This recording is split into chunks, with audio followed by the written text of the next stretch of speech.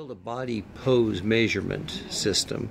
Yeah, and it's going to just track our arm motion in three different positions on the arm so that we can generate it on the graphics. Okay, so that was your calibration position. Mm-hmm. And now move your arm. Okay, so just it up, down, round. And you're and you're hitting virtual balls with the Yeah, so those with are the virtual arm. Okay, now come back to the pose, the, the calibration pose. Well, that's pretty good. Not very much drift over that amount of time. So talk about the technology a little bit. Yeah, so basically we have uh, accelerometer, gyroscope, and magnetometer at each position uh, for, for these three. Um, And these are these are Kionix.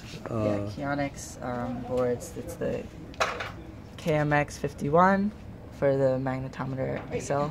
KMX62 and the KXGO3. Oh yeah. Okay. It's um labeled correctly. And um yeah, so then we connect this to the PIC 32 via IMC. and and the pi- and the Pic 32 is in the canister on your back. show you that. It's in Oh yes, it's in a water bottle. There's a, there's a breadboard inside a t-shirt canister. Okay, all right. And then so then we have two USB cables, one for serial, one for power, Uh huh. um, connected to the computer.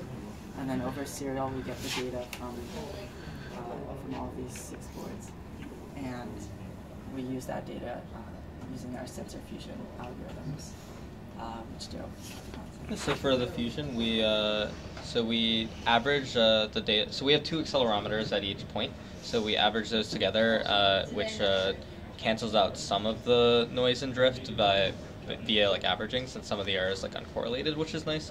And uh, for orientation, we use a complementary filter, which is a mix of it's a weighted average of the acceleration accelerometer sensor uh, and the gyroscope, which uh, allows us to get like a slightly better.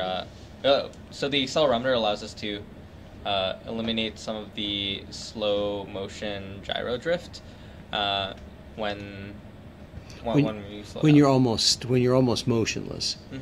and then the gyro helps eliminate the accelerometer drift when you're moving quickly. Yeah, because integrating. Uh, Yeah, because there's like a lot more error when we integrate quickly. Okay. Yeah. Not integrate. So are you going to go back to calibration mode now? Yeah.